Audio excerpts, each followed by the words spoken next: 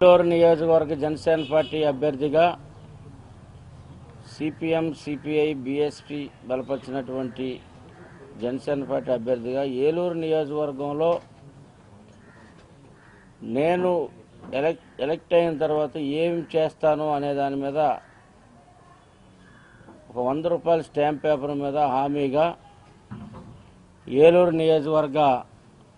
ప్రజలందరికీ కూడా నేను చేయబోయేటువంటి కార్యక్రమాల్ని ఏలూరులో ఉన్నటువంటి ప్రజలందరూ కూడా ఇప్పటి వరకు కులాలకి మతాలకి అతీతంగా ఒక విద్యార్థులకు ఉపయోగపడేటువంటి కార్యక్రమాన్ని ఆర్ఆర్బి కోచింగ్ సెంటర్ని కులాలకి మతాలకి అతీతంగా ఒక సెంటర్ని ఏర్పాటు చేసి వారికి నైపుణ్యాన్ని అందించి వారికి ఉద్యోగ అవకాశాలకి తోడ్పడడానికి మొదటగా ఒక సెంటర్ని కోచింగ్ సెంటర్ని ఏర్పాటు చేసి అన్ని అన్ని వర్గాల వారికి అక్కడ కోచింగ్ సెంటర్ కోచింగ్ ఇప్పించి వారికి ఉద్యోగ అవకాశాలు కల్పించేదానికి ఒకటి. రెండవది ఈ జిల్లాలో ఏలూరు డివిజన్స్లో దాదాపు రెండున్నర మూడు లక్షల మంది కార్మికులు ఉన్నారు వాళ్ళకి ఈఎస్ఐ హాస్పిటల్ లేదు ఇక్కడ. ఇక్కడ నియోజకవర్గ స్థాయి నుంచి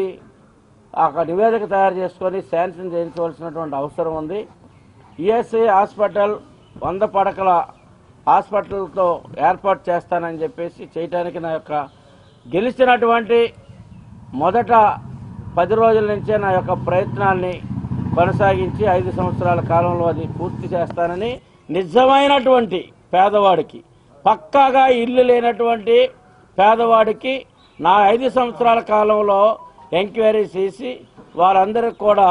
సొంత ఇంటి కళని నెరవేరుస్తాను అని చెప్పేసి ఈ సందర్భంగా ఏలూరు నియోజకవర్గంలో ఉన్నటువంటి పేద ప్రజలందరికీ కూడా ఇల్లు లేనటువంటి పేద ప్రజలందరికీ కూడా తెలియజేస్తా ఉన్నాం ఏలూరు నియోజకవర్గంలో యాభై డివిజన్స్లో ఇంతకు ముందు ఇచ్చినటువంటి వాళ్ళు కేవలం ఇరవై పాతిక డివిజన్స్లో మాత్రమే ఇచ్చారు. ఇప్పుడు నేను యాభై డివిజన్లో నిజమైన అర్హులు కానీ అదేవిధంగా ఏడు గ్రామ పంచాయతీల్లో నిజమైన ఇల్లు లేని నిరుపేదలకి ఆ యొక్క కార్యక్రమాన్ని చేపెడతానని చెప్పి ఆ డిగ్రీ కాలేజీ మీద కూడా మేము ప్రధానంగా దృష్టి పెట్టి పక్కా బిల్డింగ్స్ కట్టి ఆ విద్యార్థులకి అన్ని వసతులతో కూడినటువంటి సౌకర్యాలు కల్పించి వారు ప్రైవేటు విద్యా సంస్థలకు వెళ్ళకుండా దాన్ని నివారించి వారికి సరైనటువంటి క్రమశిక్షణ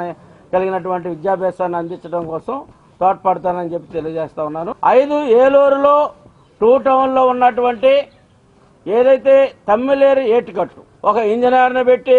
మొత్తం రిటర్నింగ్ వాళ్ళు మొత్తం పూర్తి చేస్తాను వరద నివారణ నుంచి ప్రజలను రక్షిస్తాను అని పెద్ద పెద్ద వాగ్దానాలు చేశారు. దాని దాఖలాకు ఒక రాయేసింది లేదు కానీ దాంట్లో ఆక్రమణ మటుకు బాగానే చేశారు. నా ప్రజల్ని ఐదు సంవత్సరాలు నన్ను తాత్కాలికంగా ఒక ఉద్యోగస్తుడిగా పెట్టుకోమని చెప్పి చెప్తా ఉన్నా.